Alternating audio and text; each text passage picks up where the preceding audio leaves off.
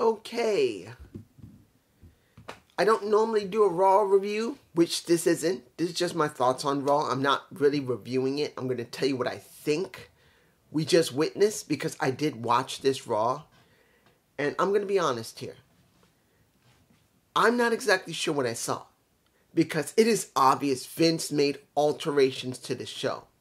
Look, the opening with Rey. Can can you honestly tell me when you noticed Rey talking with Dominik that Dom started fumbling his words? Now, he does once in a while, maybe once. But this time he was doing it a lot. He was. And his father was trying to cover for him. It was like he was trying to remember his lines.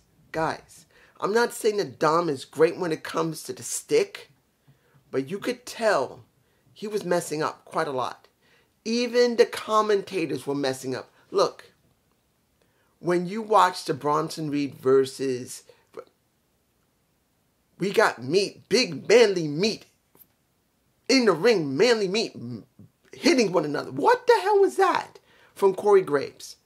Tell, tell me what we heard when when Corey Graves was just beginning to call the match between Bobby and Bronson, and he says, "There goes some manly men with a lot of meat on their uh, um, with a lot of meat hitting meat." What was that?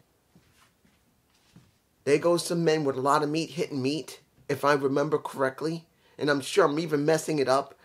But meaty meat, what the fuck was that? Guys, it is obvious that Vince altered the show.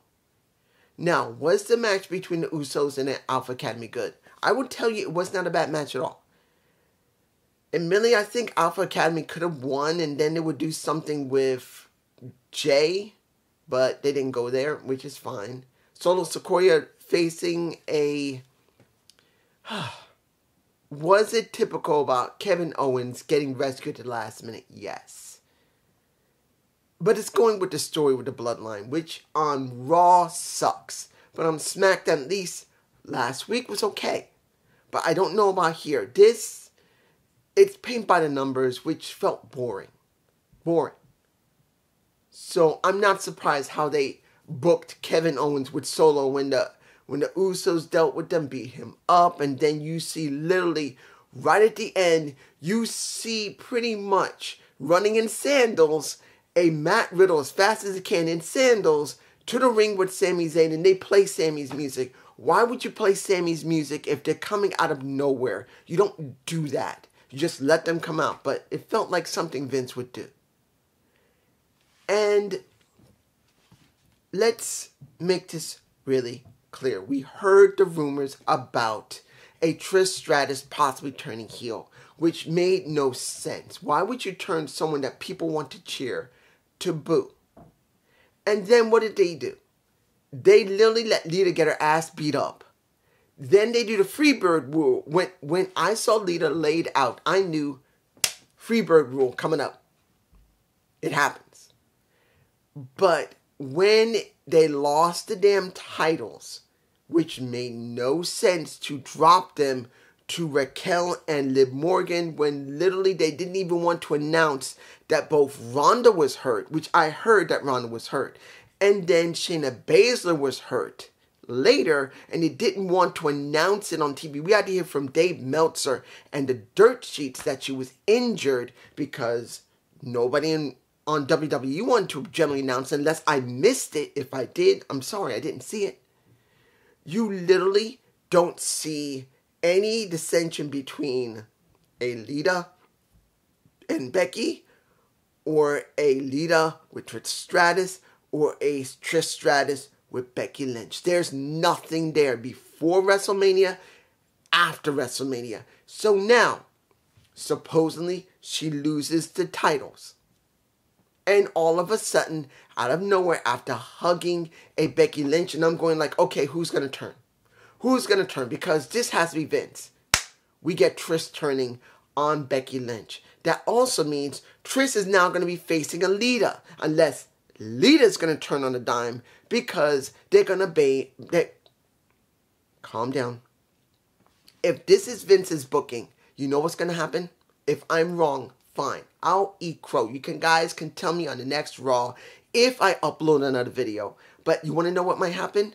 When Lita comes back either next week or week after from the local medical facility, not the hospital. Local medical facility. Isn't that what Vince says? Mm-hmm. But essentially, when she comes back, if they're gonna make this really something special, you're gonna see something special from me. You're gonna have Vince. He's gonna do one of two things. He's gonna have Lita face Trish, and they're gonna have their feud, and Becky will be on the wayside, just basically watching. Or you're going to have Lita turn on Becky so she can stay with her friend Trish because they don't want to turn two legends against one another, which Vince probably will. But if not, they're going to do the ultimate turn where both of her heroes are not going to turn against her and she's going to get her ass whooped. And then someone will have to come in and save her. Which could be who?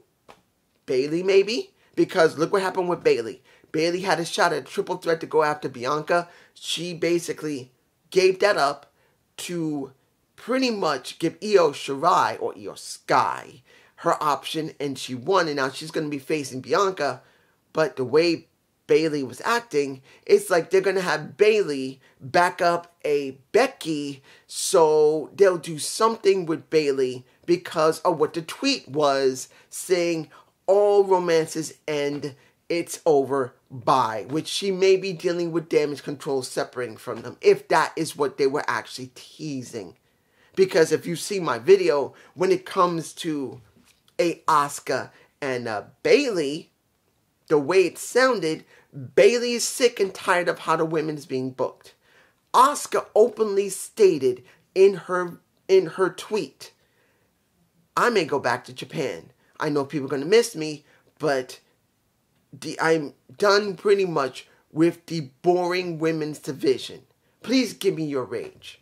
Asuka would never say something like that unless the actual woman, the real person that is a beautiful, gorgeous woman who's been in the company for many years has finally gotten sick and tired of what's been going on and she openly criticized it.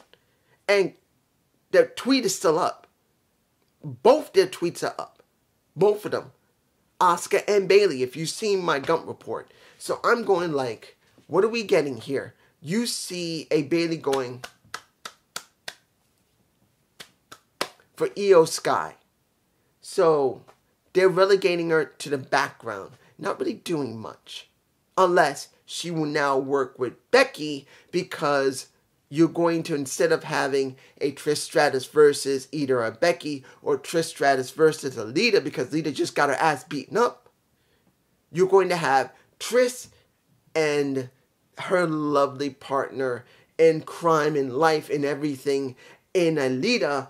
They face Bayley and face Becky. I don't know.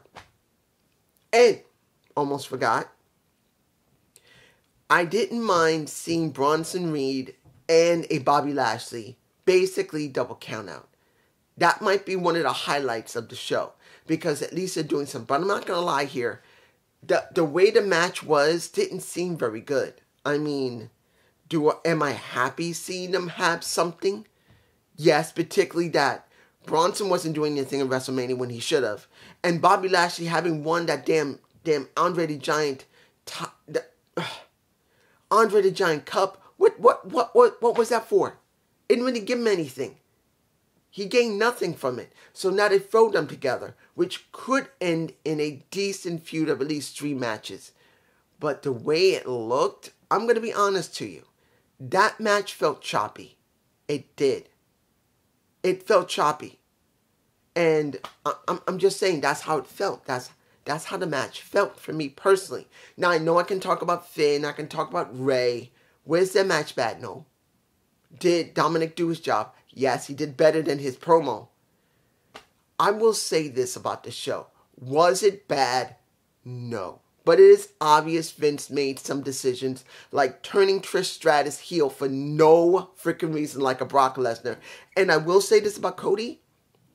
He talked well, yes, to try and sell this stupid storyline of how Brock Lesnar gets angry because he opened the show. I'm sorry. That's too damn weak. I'm sorry. It, it's weak. It's weak. Him having opened the show when he won, it's stupid. The storyline sucks. Him getting angry, it, it doesn't work when he was a face all this time and all of a sudden he turns on a dime. It's dumb booking. It's Vince McMahon booking. This show looks like it was booked by Vince to a certain extent because like like SmackDown, Vince was not there. He went to a damn Eagles count. Vince was not at SmackDown. He was at a damn Eagles concert. He went to listen to the Eagles. A 77 year old man listening to the Eagles, going, Yes, I love my Eagles. Yes, listen, I love my music. He decided to go and see an Eagles concert. And I don't know where he was today. Maybe he was in the back. Maybe he was out partying again. I don't know. I don't care. It is obvious that Vince booked the show to a certain extent. This was not all Triple H. And if anybody said this was a great show, please. Yeah, who are you lying to? Who you who who Who the fuck are you lying to? it is obvious this show was not that great. There was a lot of things on this show was stupid. Stripping the titles off of off of ba- uh, calm down. You're literally within a few weeks stripping the titles of a Becky and a Lita just to turn Trish heel for what? For what? Are you going to have Lita versus a Trish Stratus? Instead of putting over younger talent, are you going to have Trish versus a Becky? Or maybe they'll do exactly like I said. When Lita comes back, instead of beating down on a Trish, she beats down on a Becky. Then you're going to have to have Bayley help her because there's no one else unless it's going to be Charlotte Flair. And we didn't even see Rhea Ripley on TV. I'm just saying, I'm, this is what I think. Hopefully you like it. Peace.